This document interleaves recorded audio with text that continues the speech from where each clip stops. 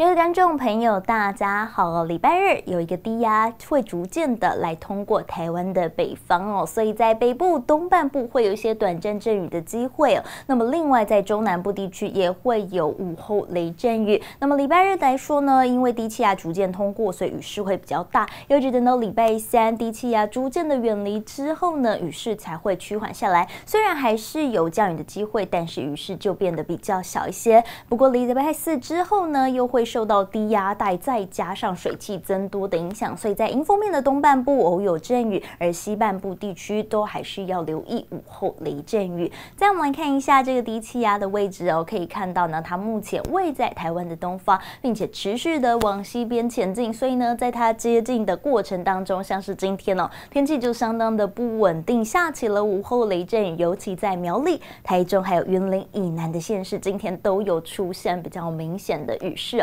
那么明天它就会逐渐的来通过台湾的北方海面，因此在偏北风的影响之下，在迎风面的北部以及东北部地区哦，都会是全天有一些阵雨的机会，也不排除会有比较大的雨势，要去等到礼拜三低压逐渐远离之后，水汽的情况才会减少下来。不过礼拜四又再度受到低压带再加上呢水汽增多的影响哦，因此我们可以看到，在礼拜四偏东风的影响之下，在东半部地区雨量就会是比较多一些些的。那么在明天的天气来说，低气压逐渐的来通过台湾的北方，所以可以看到在偏北风的环流影响之下呢，在北部地区雨量会是比较多。那么另外呢，在礼拜四来说，偏东风的环境之下，则是东半部的雨量比较多。未来四天的降雨模拟就可以很明显的看到，明天的要注意的就是北部地区全天都有降雨的机会，也不排除会有比较大的雨势。而其他地区要注意的就是午后雷阵雨。礼拜三呢，可以。看到低气压因为远离了，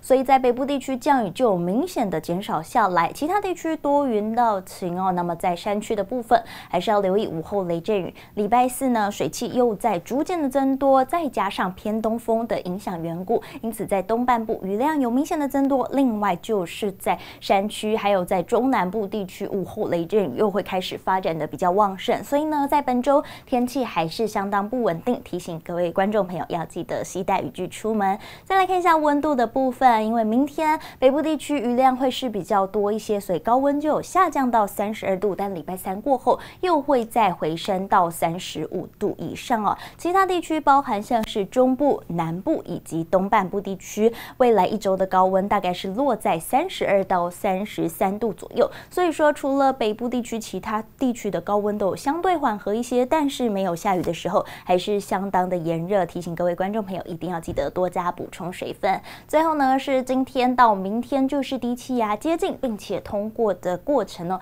所以可以看到在北部地区天气会率先变得比较不稳定，有一些阵雨的机会呢。那么到了明天更是全天都会有下雨的机会，也不排除会出现比较大的雨势。那么在中南部还是会下起午后雷阵雨哦，所以提醒各位观众朋友一定要记得携带雨具来以备不时之需了。以上就是今天的播报，我们下次再见。